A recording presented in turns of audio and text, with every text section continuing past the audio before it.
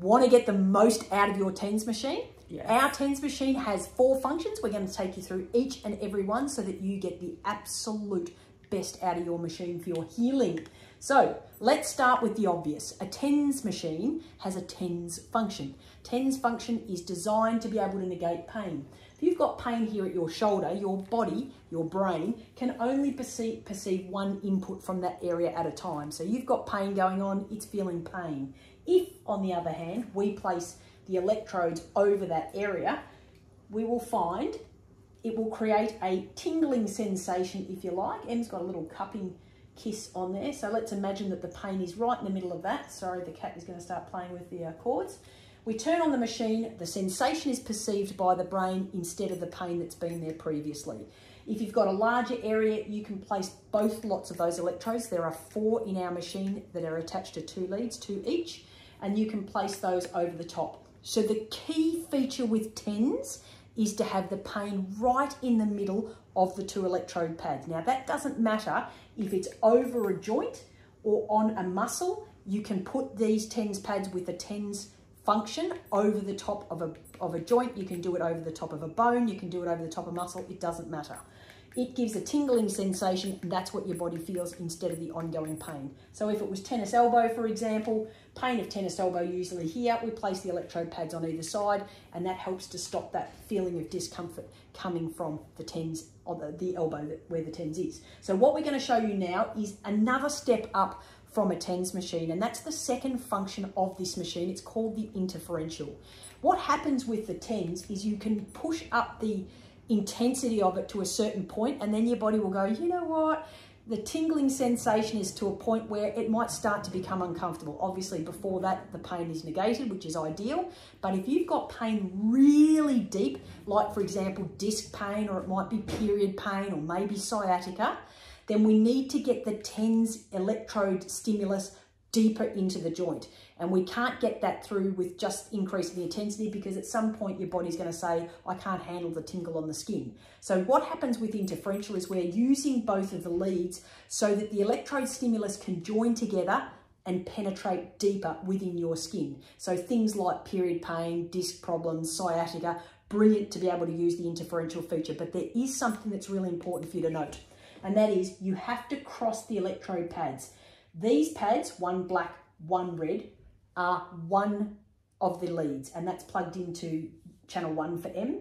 Now what we need to do is we need to take the other two electrodes, which are on channel two, and place them in a crisscross pattern.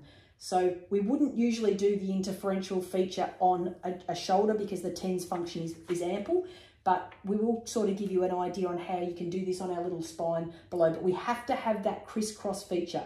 You don't want two electrodes from the same lead here and two here. They must be crossing each other like this. So I'm going to give M2 and I'm going to take two and we're going to show you what that's like for lower back pain or a disc problem. So I would place mine like this and Em needs to cross over and place hers in the opposite way. So one here and one down here for me. Oh, yep. Sorry, it's a bit confusing with the spine. so you can imagine, say, a disc problem down in this area, bring it down a little bit lower, but we have crisscrossed. This is mine and this is mine. That's Em's and that's Em's. So we've got a crisscross pattern. Doesn't matter where the black and where the red lead goes in this particular function of the machine but it is very important that you get that crossover function so that the two electrodes can penetrate together and get deep. So right in the middle of our cross is where the pain aspect is, nice and simple. So that is for interferential. The third feature of our device is called the EMS or electromuscular stimulation setting. This is exceptionally good if you've got swelling in your feet, in your arms. Let's say, for example, you've got carpal tunnel syndrome and you've got lots of swelling up and in your arm. What we need to do is we need to make sure that the joint that we're trying to get rid of the swelling from is above the level of our heart. So let's say nice and easy for the carpal tunnel example. We're going to get Em to place her arm up higher than her heart so you can sit down and watch telly and have your arm up higher. Sorry, Heidi's sitting on the uh, electrode pads.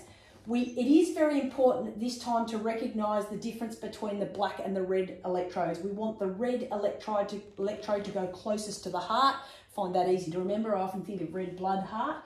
And we're trying to place the electrodes on a muscle. Em would obviously take her watch off for this. We just need to make sure when it comes to the EMS setting that we do not cross a joint. We're trying to get a single muscle or group of muscles to contract. We're not going across a joint because that's that what we do with the TENS feature. It's not what we do with an EMS setting.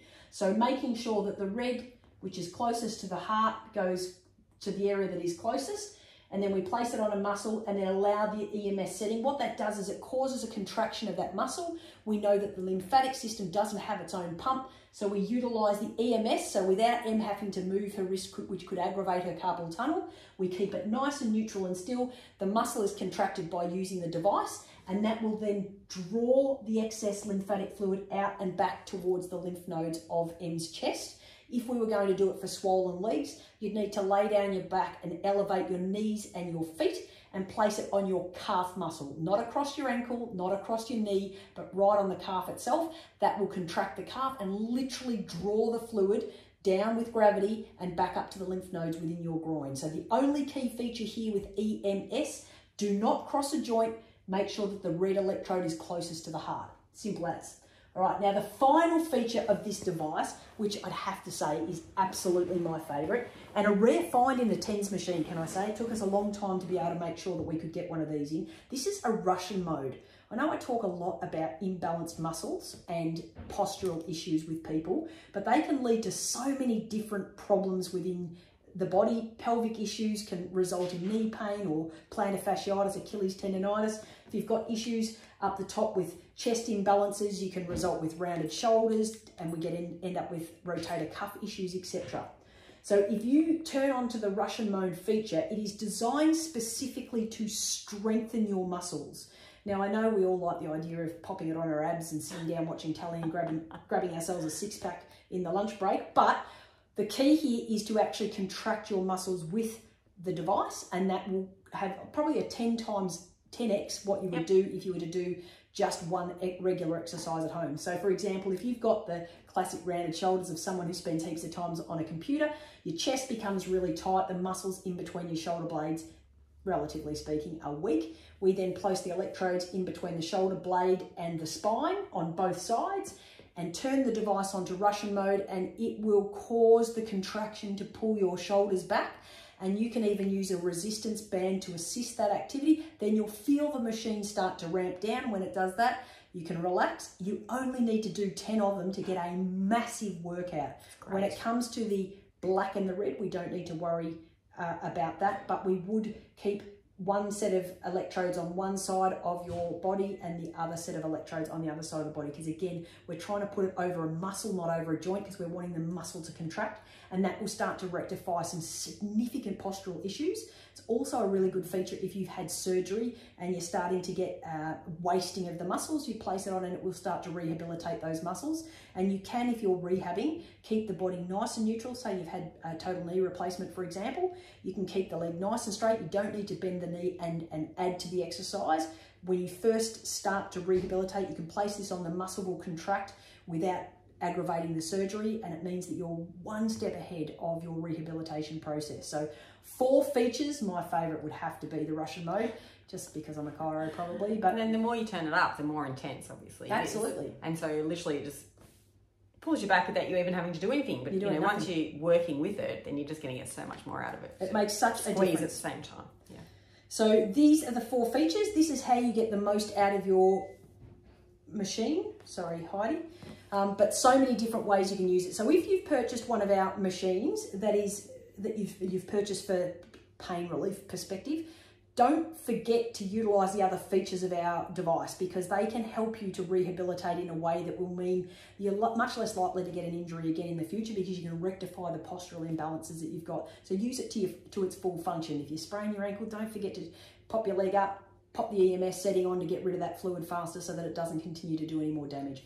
That is our machine. We love it. It works really well. We've had some great feedback from it. And I certainly know that I use it on a regular basis if I've got a, a rib that's out and I have to go to work. Uh, Em's getting pretty good at adjusting me, but sometimes uh, I need to just cover Try up the pain best. for a little bit while I'm actually there treating and trying to service others. So I find that I can stick it in my pocket and it can be working on my back, and then I don't feel the pain at Super handy and portable. Really, really handy. Yep. Even if you're stuck in the kitchen doing dinner for everyone. Yep, Throw it on. Yep. Easy to do. Great way, drug free, easy to use. Thanks for having us on your therapeutic journey.